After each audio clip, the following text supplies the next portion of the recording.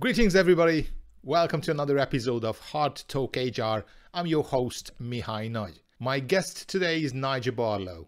Nigel is an author, an agent provocateur, a futurist, an innovation subject matter expert, and many of you met Nigel as he was and he is the chairperson of the HR Congress conference series. Nigel and I will try to explore and talk about the natural reaction in times of crisis, cost cutting, and usually trainings and funds for innovation suffer. So we explore if this is the right thing to do, if this is the smartest thing to do, and if not, what are the possible alternatives. We also covered rethink, rebuild, rebound. What are the right HR responses in times of crisis? And this is Nigel's methodology, how HR can be a source of value when it comes to dealing with turbulence and dealing with crisis. And last but not least, I spoke to a futurist, so natural the question I ask, what is the future look like after the post-pandemic era? So if you like today's episode, just don't forget to hit the subscribe button, and I hope you will enjoy.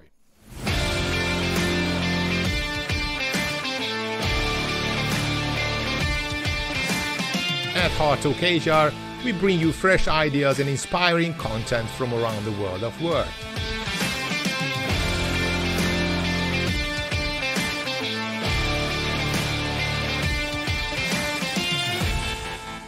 So Nigel, so good to have you here. Thank you so much for accepting yeah. my invite to come to this interview.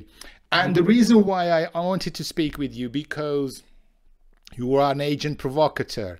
You're helping organizations to innovate. You're helping organizations to go through transformation and disruptions. And these days, we are living the most disruptive times uh, ever probably anybody experiences. So I wanted to have a chat with you and wanted to have your point of view, especially when times are tough. Um, it's a natural tendency for organizations to cut costs, to optimize costs, to save on expenditures as much as possible. So naturally, innovation funds, training expenses are the first to go. So what is your viewpoint of that?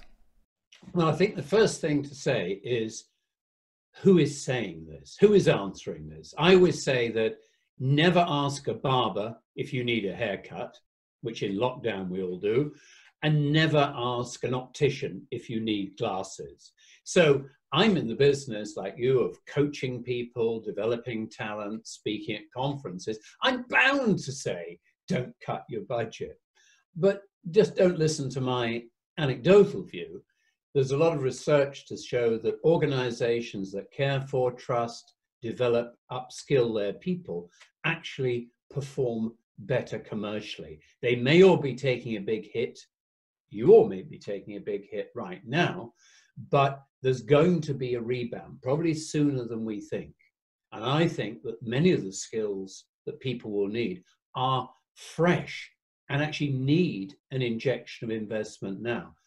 Just stuff like how to run virtual teams, how to manage remote workers from home, how to keep people's spirits raised and to realize that there still is a rosy future for an organization. This takes more resource, not less. How about innovation? I mean, is this a good time to? Obviously, we come back to a new reality, a new reality we never experienced before. I've just read today that today we are living 2050 in terms of digital transformation. So it just expedited digital transformation so much. Yeah. So, well, disruption you're talking about there, Mihaly, if I'm right. I, I mean, I mean, I talk in ordinary times about disruption, and it all seems rather tame now. I have to be honest, because the whole globe has been disrupted by by this pandemic.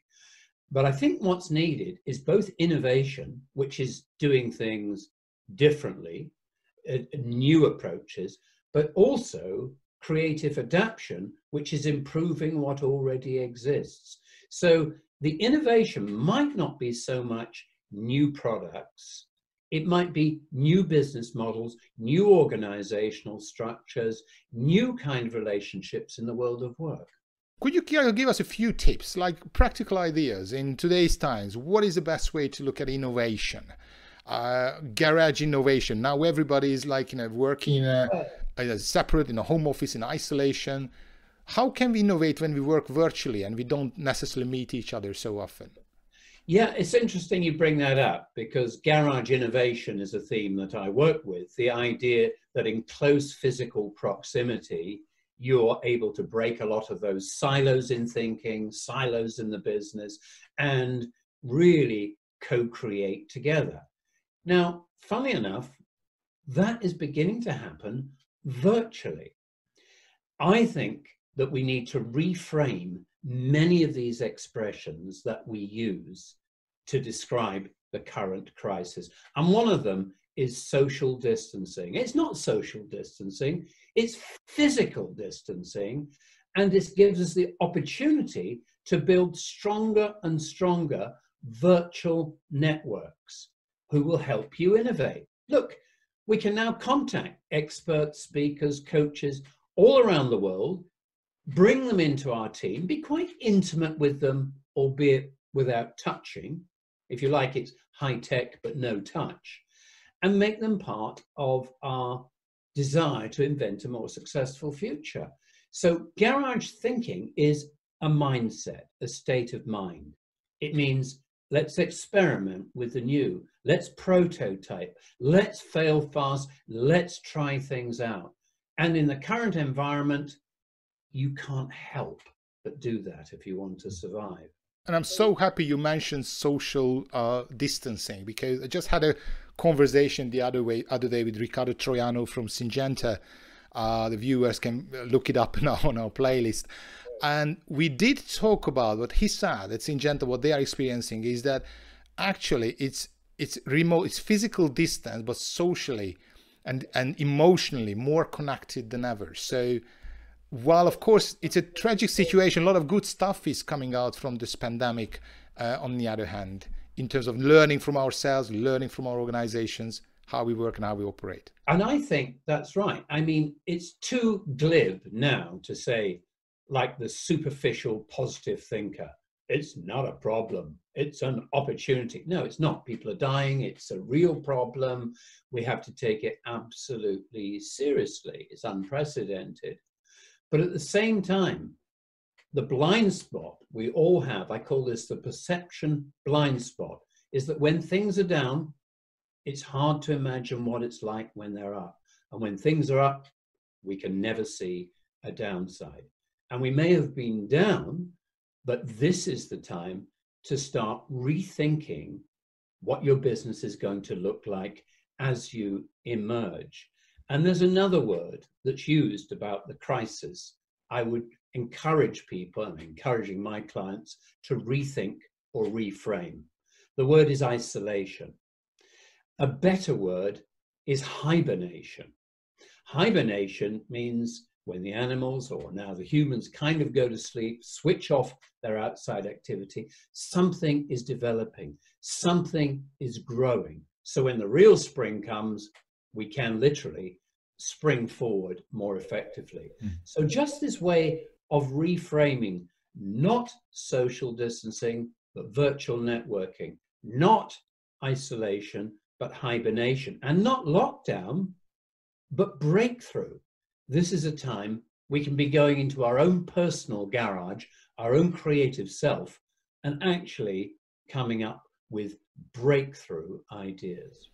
We're getting quite philosophical, but I, I must agree with you that our own thinking determines the outcome. So if we if we look at it only as a problem, we'll never we're going to focus on a problem. We'll never never never notice the opportunities. And you do have a very cool approach to the role of HR in, in crisis and the role of HR in managing disruptions and turmoils, this rethink, rebuild, rebound model.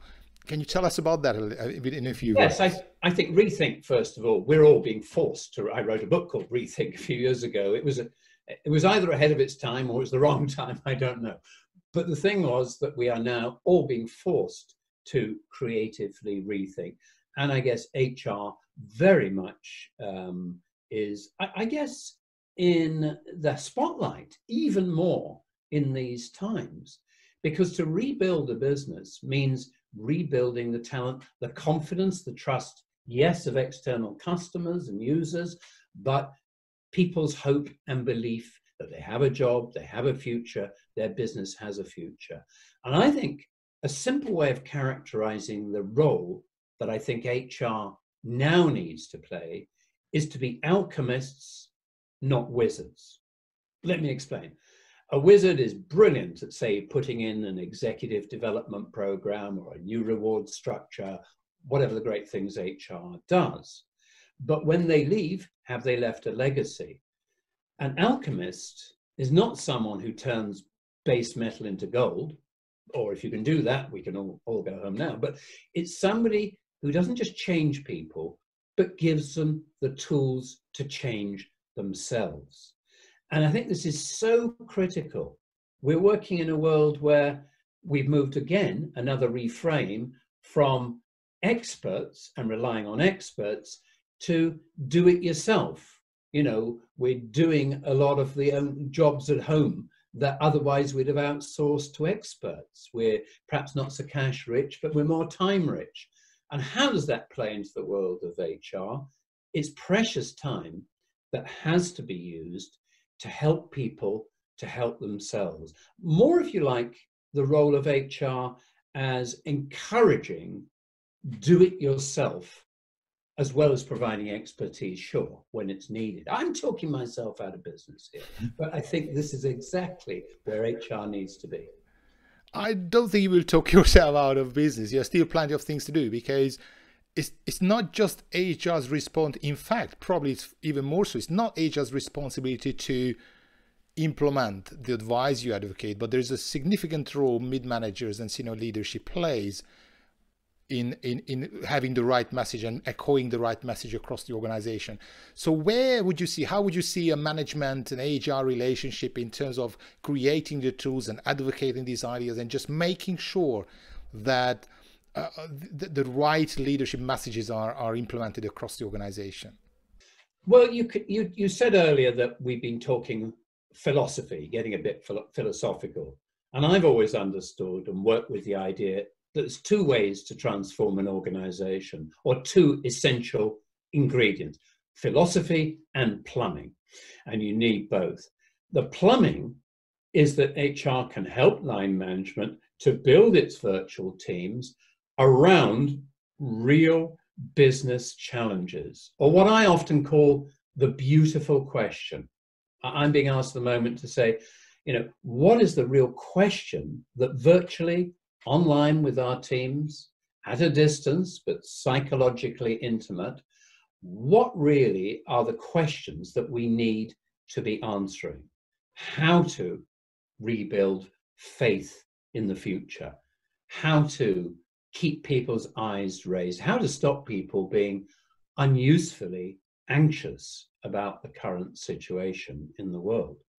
And I think the role, therefore, is not to do too much just training and just inputs and just keynotes, but real working sessions with smaller groups that HR facilitates to help people go away after the session, think about those challenges, and come back with their real prototype solutions. More and more, people are going to have to be invested in inventing the future of their own business, and you need to give them something practical as a challenge to tackle. I hear words prototyping, small group, yeah. experimenting. This is all like a foundation for an agile organization. So, yeah. do we see that the current sort of a turmoil it's actually expedite the adoption of agility? Yes, I think so. I think it's you know what's the oldest phrase in innovation? Necessity is the mother of invention. And nobody wants a war, but in a time of war, innovations in social structures, in technology, they really, and this has been a bit like a war, but hopefully uh, this time, of course, the enemy in a way is within. It's an invisible, uh, invisible disease. But this is a time when all the things that were happening anyway are accelerated. The drive to virtualization, to different forms of working, to agility, as you say, in turning around the organization, as I think you have done with yours, within a month or two, um, it's accelerated what was on the drawing board anyway. And I don't know if, and also in terms of leadership, because I don't know if there is a causation, but there's certainly a correlation in countries where there is a female leader. They seem somehow tackling this crisis way better than a male counterpart. Yes, it's interesting this.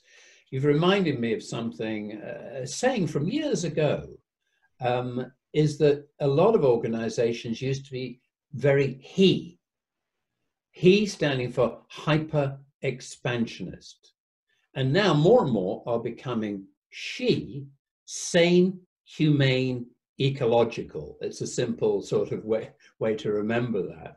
And, and, and I think that's extremely healthy. I would say to the us poor white males, this is not necessarily um, about the outer appearance. This is about the kind of thinking that intuition, that ability to speak more directly, to tackle the problem face on, not deny. Those seem to be uh, positive aspects of, uh, let's say, a feminine outlook. They're, they're not exclusive to women. Um, that organizations are beginning to adopt. I see a lot more um, compassion for employees, the sort of stuff many organizations had as a slogan for years. We care for our employees. Well, show me.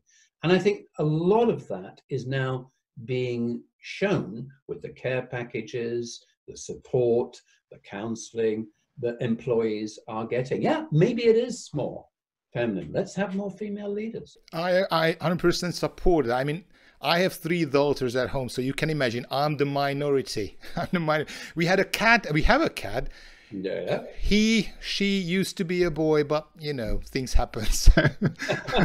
so I'm the only one here, but I support it because I, I it's it's a totally different uh, relation relating to each other in a in a much more she way, and I think that's that the world world needs that.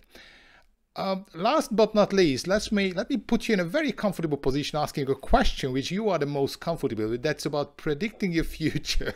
Oh, yeah. How would you how would you envision the new normal when we are returning to the post-pandemic era? How will work look like? Work look like? How will innovation look like? How we are going to handle turmoils, and what is a new phase of leadership? Well, leaders are going to have to get used to developing a new language, and maybe it's some of that more also male, but also decisive, but also feminine, uh, understand deep understanding language as well. I don't like the idea of there ever being a normal. And for years and years, we've talked about having, oh, this is normal. Oh, things will be back to normal. What, but was normal? The world was already transforming, disrupting new business models, new products, new technologies, new platforms. You know, hard for a lot of people and organizations to keep up with. So I don't know what the new normal is because I just don't think it will be normal. Maybe the new state is continuing disruption. There might be a plateauing. I expect, look, the experts are predicting two different extremes. One is nothing will ever be the same again. Other end of the scale, I want my job back. I want my life back. We're going to go back to it in a month or two. Who is right? I am not the gypsy with the crystal ball, but I would say the truth is likely to be somewhere between the two. Some things will go back to normal. Social gatherings, um, theatre, conferences, I hope, a lot of this. But a lot of behaviour that's been changed will not go back to normal. There will be casualties, there will be disruptions. And I think the leader's job is going to be more and more um, coach, mentor, guide, helping people through the inevitable stress that these changes will create. You know, the core, I hear a lot about it, the word resilience.